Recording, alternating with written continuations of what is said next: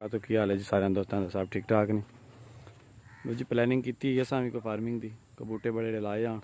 ਆਪਣੇ ਪਿੰਡ ਆਇਆ ਜੀ ਕੋਟ ਬਲੋਚ, ਮੰਡੀ ਬਾਉਲਦੀਨ ਤੇ ਇੱਥੇ ਸਾਡੇ ਕੋਈ ਦੋਸਤ ਜੀ ਮੰਡੀ ਬਾਉਲਦੀਨ ਦੇ ਨੇ, ਉਸਮਾਨ ਭਾਈ। ਕਾਫੀ ਦਿਨਾਂ ਤੋਂ ਰਾਬਤਾ ਸੀ ਤੇ ਇਹਨਾਂ ਕਿਹਾ ਸੀ ਜੀ ਕਿ ਅਸੀਂ ਤੁਹਾਡੇ ਕੋਲ ਆਉਣਾ ਹੈ। ਫੈਸਲਾਬਾਦ ਤੇ ਆਏ ਨਹੀਂ, ਲੇਕਿਨ ਸਾਡੇ ਕੋਲ ਇੱਥੇ ਆ ਗਏ ਨੇ ਪਿੰਡ। ਇਹਨਾਂ ਨੇ ਦੱਸੀ ਹੈ ਪਲੈਨਿੰਗ ਛੋਟੀ ਜੀ ਸਾਡੀ ਸੀ। ਤੇ ਮਜ਼ੀਦ ਇਹਨਾਂ ਨਾਲ ਗੁਫ਼ਤਗੂ ਕਰਨੇ ਆ ਬਈ ਕਿਵੇਂ ਆਪਣੇ, ਤੇ ਕਿਵੇਂ ਆ ਗਏ ਤੇ ਕਿਵੇਂ ਦੇ ਅਸੀਂ ਲੱਗੇ ਤੇ ਇਹ ਕਿਵੇਂ ਦੇ ਸਨ ਲੱਗੇ। ਗੱਲਬਾਤ ਇਹਨਾਂ ਨਾਲ ਕਰਨੇ ਆ। ਅਸਲਾਮ ਅਲੈਕਮ। ਵਾਲੇਕੁਮ ਸਲਾਮ। ਕੀ ਹਾਲ ਹੈ ਉਸਮਾਨ ਭਾਈ ਠੀਕ ਹੋ? ਅਲਹਮਦੁਲਿਲਾ ਠੀਕ ਠਾਕ ਹੋ ਆਪ ਸੁਣਾਓ? ਸਭ ਅੱਲਾ ਦਾ ਸ਼ੁਕਰ ਉਸਮਾਨ ਵੀਰ ਤੁਸੀਂ ਮੇਰੇ ਖਿਆਲ ਦੇ ਮੁਤਾਬਕ ਜ਼ਿਲ੍ਹਾ ਮੰਡੀ ਬਾਉਲਦੀਨ ਤਹਿਸੀਲ? ਜੀ ਤਹਿਸੀਲ ਮਲਕਵਾਲ। ਤਹਿਸੀਲ ਮਲਕਵਾਲ। ਹਾਂਜੀ। ਤੇ ਅੱਗੇ ਪਿੰਡ ਤੁਹਾਡਾ? 46 ਚੱਕ ਸਦਵਾਂ ਦਾ 46 ਸਟਾਫ ਨੂੰ ਲੱਗਦਾ। ਤੁਸੀਂ ਮੇਰੇ ਖਿਆਲ ਨਾਲ ਕੋਈ ਬੱਕਰੀ ਦੇ ਫਾਰਮਿੰਗ ਚਾਰਮਿੰਗ ਦੇ ਬਾਰੇ ਕੋਈ ਪ੍ਰੋਗਰਾਮ ਤੁਹਾਡਾ ਕੋਈ ਸ਼ੁਰੂ ਹੋਇਆ ਆਵੇ ਹੈ? ਜੀ ਫਾਰਮ ਥੋੜਾ ਛੋਟਾ ਜਿਹਾ ਰੱਖਿਆ ਸੀ ਕੁਛ 6-7 ਜਾਨਵਰ ਆਣੇ ਸਾਡੇ ਕੋਲ। ਅੱਛਾ। ਉਹਨਾਂ ਦਾ ਸ਼ੌਕ ਕਰ ਰਹੇ ਹਾਂ ਅਸੀਂ। ਬੱਕਰੀ ਰੱਖਣੇ ਤੋਂ ਪਹਿਲੇ ਪਹਿਲੇ ਬੈਂਕ ਅਕਾਊਂਟ ਬਣਾਉਣਾ ਪੈਂਦਾ ਜਿੱਦੇ ਚ ਪੈਸੇ ਰੱਖਣੇ ਹੁੰਦੇ ਨੇ ਸ਼ਾਮੀ ਜਾ ਕੇ। ਉਹ ਬਣਾਇਆ ਤੁਸੀਂ ਕਿ ਨਹੀਂ? ਉਹ ਇਹ ਫਿਰ ਕੋ ਨਹੀਂ ਬਣਾ ਉਹ ਨਹੀਂ ਬਣਾਇਆ ਉਹ ਭਾਈ ਜ਼ਰੂਰੀ ਹੈ ਬਣਾ ਲਵਿਆ ਜਿਹਦੇ ਨਵਾਸ਼ੀ ਪੈਸੇ ਰੱਖਣ ਜਾਣੇ ਹੁੰਦੇ ਨੇ ਇੱਕ ਅੱਧਾ ਕੋ ਸਕੂਟਰੀ ਵਾਲਾ ਪਾਬੰਦ ਕਰ ਲਓ ਬੰਦੂਕ ਪਰੜੀ ਵਾਲਾ ਜਿਹੜਾ ਨਾਲ ਜਾਏ ਕਰੇ ਪੈਸੇ ਰੱਖਣ। ਉਸਮਾਨ ਵੀਰ ਸਭ ਤੋਂ ਪਹਿਲੇ ਤੇ ਦੱਸੋ ਤੁਸੀਂ ਸਾਨੂੰ ਮਿਲੇ ਹੋ ਕੋਈ ਮੂੰਹ ਦੀ ਤਾਰੀਫ ਨਹੀਂ ਕਰਨੀ ਕੋਈ ਗੱਲਬਾਤ ਨਹੀਂ ਜੇ ਜੋ ਦਿਲ ਚ ਆਈ ਹੈ ਜੋ ਚ ਲੱਗਾ ਉਹ ਦੱਸਣਾ। ਬਹੁਤ ਇਨਸ਼ਾਅੱਲਾ ਮਜ਼ਾ ਆਇਆ ਜੀ। ਭਾਈ ਯਾਰਾਂ ਨੇ ਬੜਾ ਤਾਵਨ ਕੀਤਾ ਸਾਡੇ ਨਾਲ। ਔਰ ਬੜਾ ਦਿਲੀ ਸਕੂਨ ਆਇਆ। ਭਾਈ ਇਹ ਨਾ ਛੜਿਆ ਵਾ ਭਾਈ ਉਹਨੇ ਇੱਕ ਲੇਲੀ ਦੇ ਛੱਡੀ ਕੇ।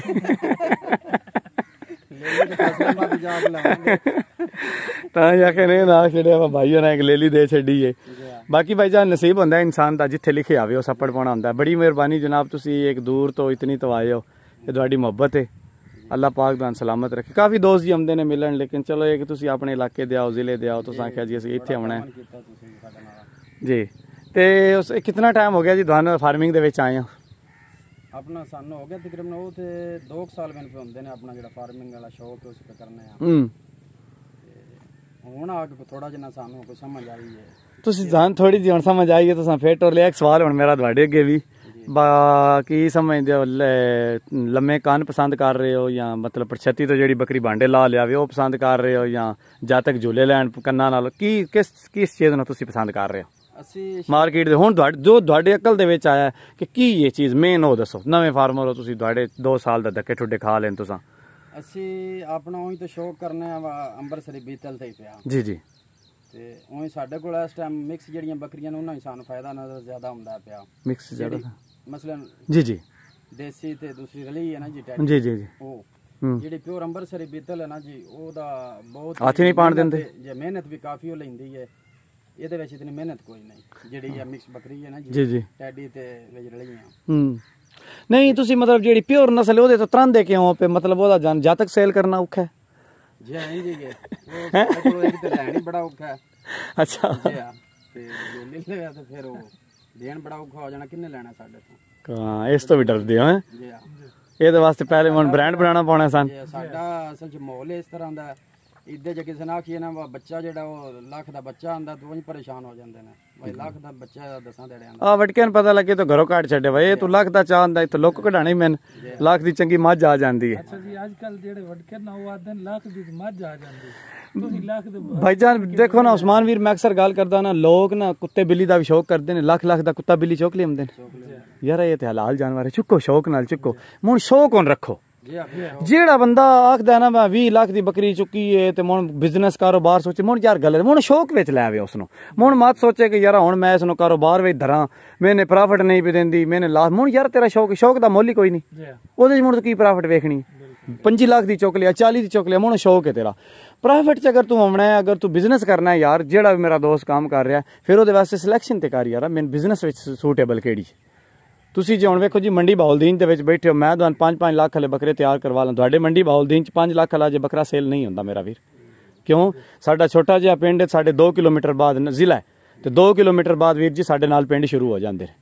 ਇਹ ਉੱਥੇ, ਇਹ ਵੱਡੇ ਵੱਡੇ ਸ਼ਹਿਰਾਂ 'ਚ ਜਿੱਥੇ 24 24 ਕਿਲੋਮੀਟਰ ਸ਼ਹਿਰ ਹੀ ਜਾਂਦਾ ਇਹ ਬੱਕਰੇ ਉੱਥੇ ਜਾ ਕੇ ਵੱਡੇ ਵੱਡੇ ਜਿਹੜੇ ਸੇਲ ਹੁੰਦੇ। ਸਾਡੇ ਪਿੰਡਾਂ ਦੇ ਵਿੱਚ 50 60 ਹਜ਼ਾਰ ਦਾ ਕਨਸੈਪਟ ਹੈ ਜੀ ਕੁਰਬਾਨੀ ਦੇਣੀ। ਉਹ ਵੀ ਬੜੀ ਔਖਿਆ ਹੋ ਕੇ।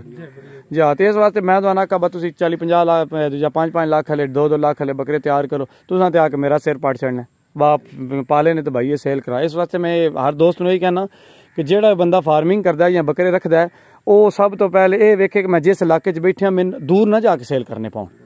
ਇਹ ਨਾ ਹੋਵੇ ਜਿਹੜੀ ਕੋ ਪ੍ਰੋਫਿਟ ਹੈ, ਉਹ ਕਿਰਾਇਆਂ 'ਚ ਭਰ ਛੱਡੇ ਮੋਣ ਆਪਣੇ ਇਲਾਕੇ ਦੀ ਹਿਸਾਬ ਨਾਲ ਮੁਤਾਬਕ ਨਸਲ ਪਾ ਲਓ, ਆਪਣੇ ਇਲਾਕੇ ਦੇ ਵਿੱਚ ਜਿਹੜੀ ਤੁਹਾਡੀ ਨਸਲ ਸੇਲ ਹੋ ਜਾਏ ਈਜ਼ੀਲੀ ਸੇਲ ਹੋ ਜਾਏ, ਚਾਰ ਆਨੇ ਦੇ ਜਾਏ, ਉਸ ਨਸਲ ਨੂੰ ਸਿਲੈਕਟ ਕਰਕੇ ਤੇ ਤੁਸੀਂ ਕੰਮ ਕਾਜ ਕਰਨਾ ਸ਼ੁਰੂ ਕਰ ਦਿਓ। ਨਵੇਂ ਦੋਸਤ ਜਰਾ ਅੱਜ ਕੱਲ 5 ਹਜ਼ਾਰ ਬੱਕਰੀ ਦੇ ਸੇਲਾਂ ਲੱਗ ਗਈਆਂ।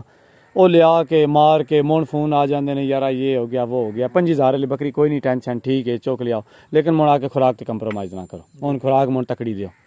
ਅਕਸਰ ਮੇਰੇ ਦੋਸਤ ਕਹਿੰਦੇ ਨੇ ਯਾਰਾ ਮੈਂ ਅਕਸਰ ਵੀਡੀਓ ਚਾਕ ਚੜਾਉਂਦਾ ਵਾ ਮੈਨੂੰ ਬੱਕਰੀ ਜਿਹੜੀ ਮਰਜ਼ੀ ਦੇ ਛੱਡੋ ਤੇ ਮੈਂ ਉਹਨ ਪਹਾੜ ਤੇ ਲੈ ਜਾਣਾ ਬਰਫ਼ ਹਲੇ ਤੇ ਲੇਕਿਨ ਮੈਨੂੰ ਉਹਦੀ ਖੁਰਾਕ ਵੀ ਦੇਣੀ ਤੁਸੀਂ। ਖੁਰਾਕ ਤੁਸੀਂ ਮੈਨੂੰ ਬਰਫ਼ ਤੇ ਪਹਾੜ ਤੇ ਟੋਰ ਛੱਡੋ ਤੇ ਖੁਰਾਕ ਤੁਸੀਂ ਮੈਨੂੰ ਮੁਲਤਾਨ ਲਈ ਦਿੰਦੇ ਰਹੋ। ਮੈਂ ਮਾਰਨੀ ਹੈ ਬੱਕਰੀ? ਇਸ ਵਾਸਤੇ ਜਿਸ ਇਲਾਕੇ ਦੇ ਵਿੱਚ ਤੁਹਾਡੀ ਬੱਕਰੀ ਜਿਹੜੀ ਜਿੱਥੇ ਜਾ ਰਹੀ ਉਹਦੇ ਮੁਤਾਬਕ ਉਹਦੀ ਖੁਰਾਕ ਲੈ ਕੇ ਉਹਨੂੰ ਜਿੱਥੇ ਦਿਲ ਲੈ ਜਾਓ ਬੱਕਰੀ ਤੁਹਾਡੀ। ਜੀ। ਇਹ ਨਾ ਜੀ ਭਾਈ ਹੋਰਾਂ ਜਨਾਬ ਕੀਤਾ ਵੇ ਇੱਕ ਚੈਨਲ ਜਿਹਾ ਬਣਾ ਲਿਆ ਵੇ ਹੁਣ। ਪੈਸੇ ਕਮਾਉ ਨੇ ਤੇ ਨਿਕਲ ਚੱਲੇ ਕਦਾਂ ਬਾਹਰ ਯੂਰਪਾਂ ਤੇ ਨਾ ਫਦੀਣਾ ਕੋਈ ਨਹੀਂ ਇੱਥੇ ਸਾਡੇ ਕੋਲ।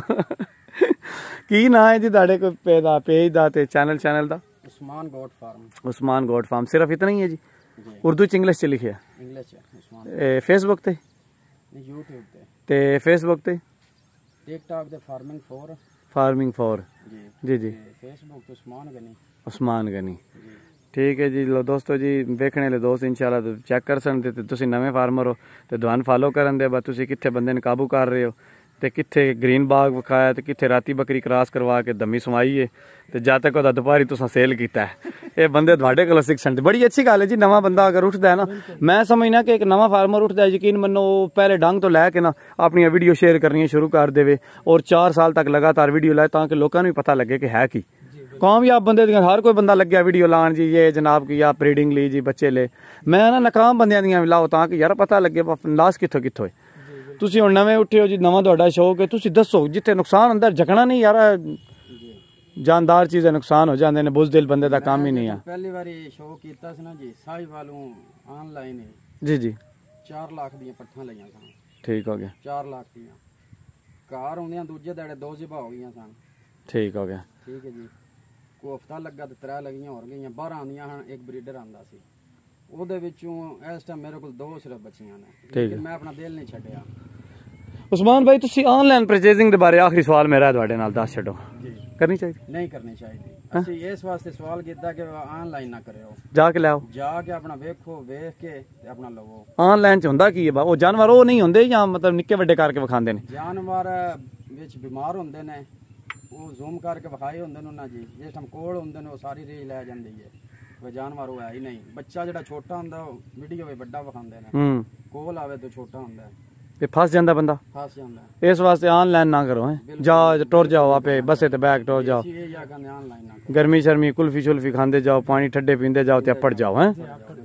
ਵੈਰੀ ਗੁੱਡ ਹੋ ਗਿਆ। ਨੁਕਸਾਨ ਕੀਤੇ ਆ 4 ਲੱਖ ਦਾ। ਅਸੀਂ ਸਾਰਿਆਂ ਨੂੰ ਦੱਸਾਂਗੇ ਕਿ ਨਹੀਂ। ਆਨਲਾਈਨ ਨਾ ਕਰੋ। ਬਿਲਕੁਲ ਠੀਕ ਹੋ ਗਿਆ ਲੋ ਜੀ, ਨਾਲ ਇਹਨਾਂ ਨੂੰ ਦਿਖਾਈਏ ਜੀ, ਆਪਣੀ ਪਲੈਨਿੰਗ ਵੀ। ਕੋਈ ਆ ਬੂਟੇ ਬੜੇ ਲਾ ਛੱਡ ਜਾਣਾ ਸਾਕੇ ਬਸ ਚਲੋ, ਦੋਸਤ ਬਾਪ ਜਿਹੜੇ ਨੇ ਕੋ ਫਾਰਮਿੰਗ ਦਾ ਸਾਡੀ ਪਲੈਨਿੰਗ ਆਈ ਇਨਸ਼ਾਅੱਲਾ ਜੀ ਆ ਸਾਡੀ ਜਿਹੜੀ ਨਹੀਂ ਦਰਖਤ ਸਾਡੇ ਜਵਾਨ ਹੋ ਗਏ ਨੇ, ਇਹ ਹੋ ਗਏ ਨੇ 15 20 20 ਫੁੱਟ ਦੇ ਹੁਣ ਹੁਣ ਤਕੜੇ ਹੋ ਗਏ ਨੇ, ਇਹ ਵੀ ਦੇ ਨਾਲ ਅਸੀਂ ਵੀ, ਅਲਹਮਦੁਲਿਲਾ, ਹੁਣ ਕੋਈ ਇਤਨੇ ਧੱਕੇ ਠੁੱਡੇ ਖਾ ਕੇ ਤਕੜੇ ਹੋ ਗਏ ਥੈਂਕ ਯੂ ਜੀ, ਅੱਲਾ ਹਾਫਿਜ਼।